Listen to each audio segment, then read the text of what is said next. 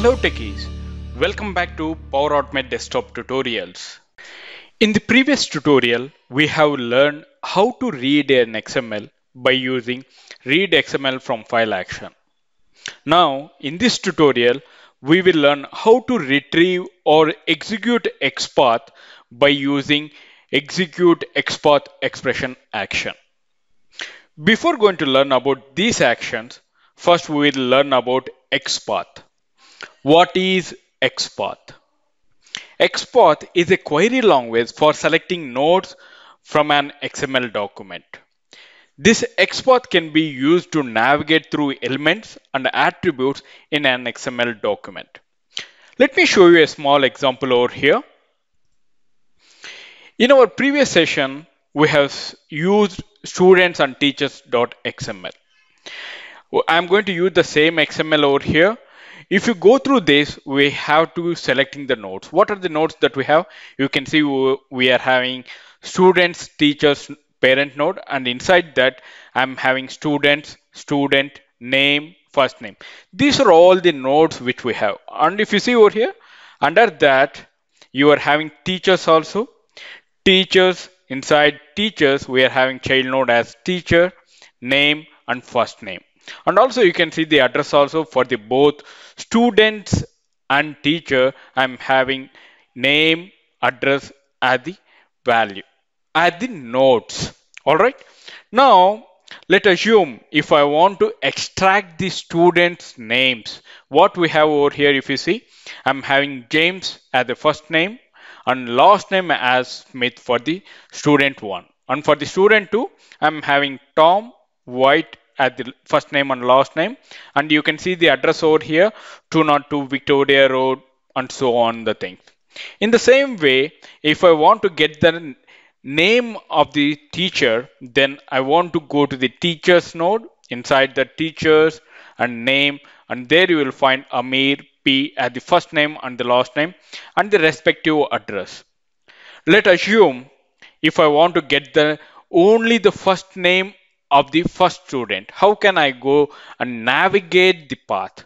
First, I need to go to the students teachers node that is the parent node and after that inside that I have to go to the students student name and first name. From there you can get the value over here or the text over here as James right? In the same way if you want to go to the address same path students teachers students student and then you will go after that you won't go to the inside the name you will go to the address right? This is the x path what we are going to define. Nothing but we are going through navigating through the elements and the attributes to get the values. That is called x path. Now in this tutorial we will learn how to execute xpath expression by using execute xpath expression xml action what it will do it extract the values from an xml document based on the provided xpath query all right.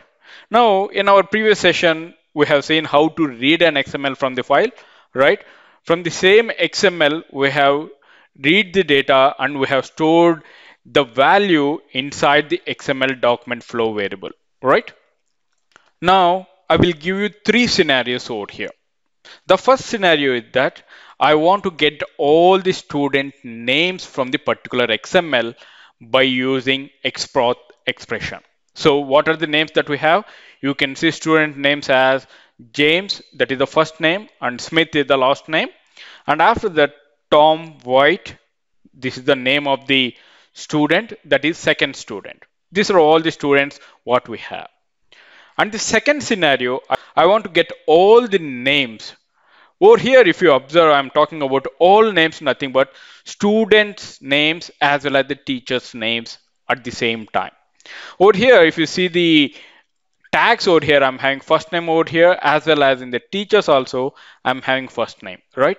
I want to get all the names, including students as well as the teachers, right? That is the second scenario. And the third scenario, if you see, I want to get first student name. Out of two students or n number of students, I want to get it only one student name I want to get it. These are all the three scenarios we are going to work it out right now by using execute XPath expression. All right. Now, first of all, let me drag and drop this action that is execute XPath expression onto the workspace. Now, first of all, we'll see the parameters. What are the parameters that we have? You can see over here, the first parameter XML document to parse. So by using read XML file, we have got the values inside the flow variable that is XML document, right? That's the same XML document we're going to select over here. Let me select that by selecting the variables over here as XML document. And then XPath query. What is this XPath query? What are the values you want to retrieve? That values you can retrieve by using this XPath query. Let's assume as a first scenario, I want to get all the student names, right? Over here, how we have to navigate?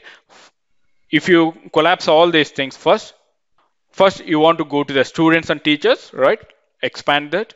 And there inside that, you want to get the students, right? Let's expand that. Inside that again, you can see student and there you will find the names over here, right? Inside the names again, you have first name. This is the navigation path. That's the same path you are going to give it over here. Right? Let me take it up first. I have taken the path as students teachers slash students slash student slash name and inside that slash I want to get the first name. So what we will get, we will get two names over here. You can see in the student one I'm having James as well as student two you can find Tom, right? That will get two names over here.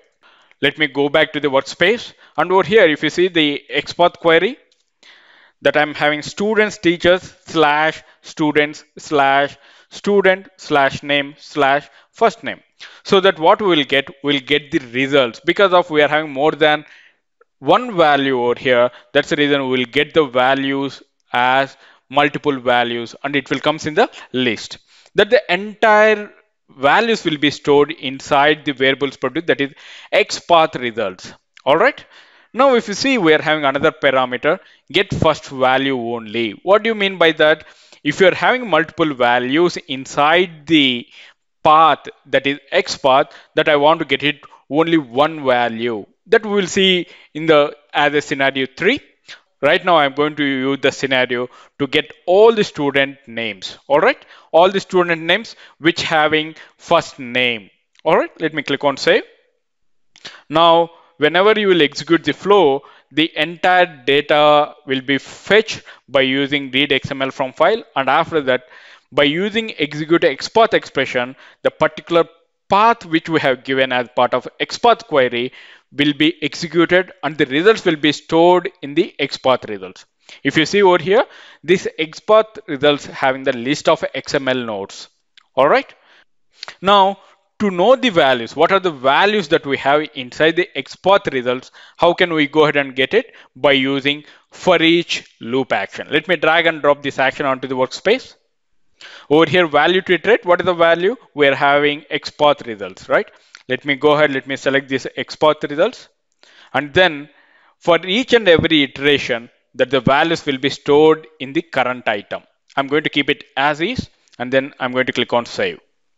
Now we want to know what are the values has been stored inside the XPath results, right? So how can we go ahead and display that by using display message? Let's drag and drop this display message action onto the workspace inside the for each. Now I'm going to give the title as names. And what are the values that I want to display over here? What are the values that I am having in the current item? Current item, there's a value called inner text. Let me select that and then I'm going to click on save.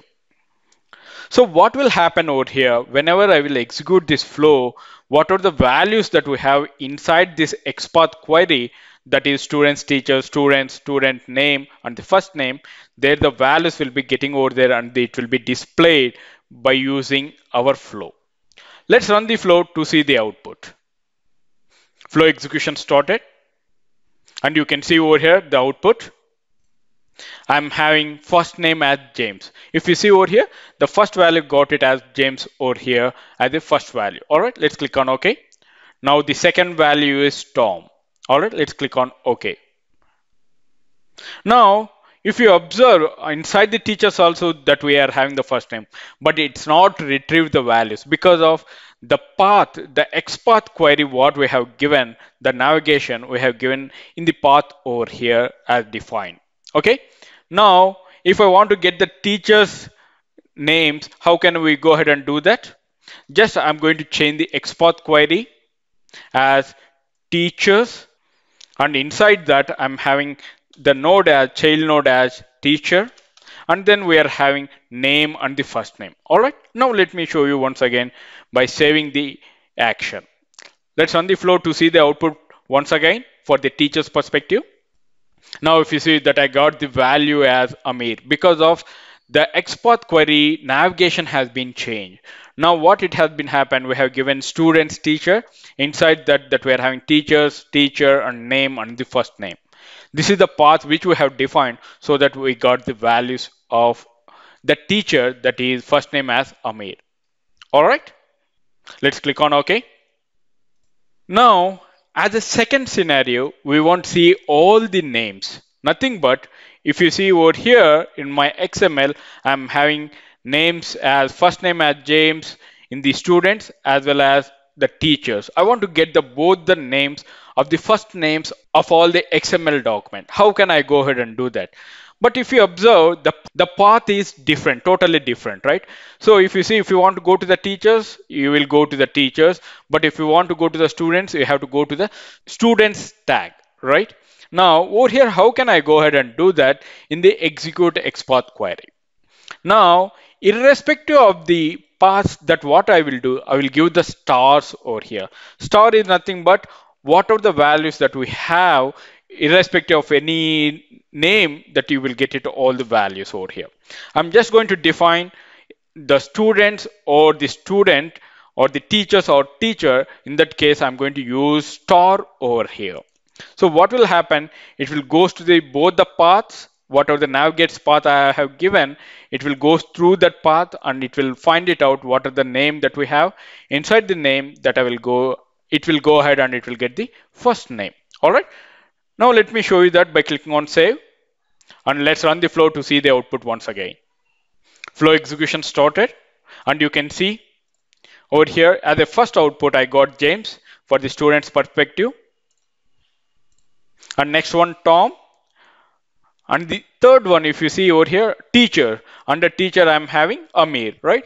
I got the values of that first name also. Let's click on OK I hope you understand the scenario one to fetch all the student names and also as a second scenario if you want to get the students as well as the teachers at the same time by using scenario 2 we have used stars over here all right now, if you observe in my XML, I'm having students, eh, more than one student, I'm having it, right? Now, I don't want to get all the student names. I want to get only the first student name of the first name only.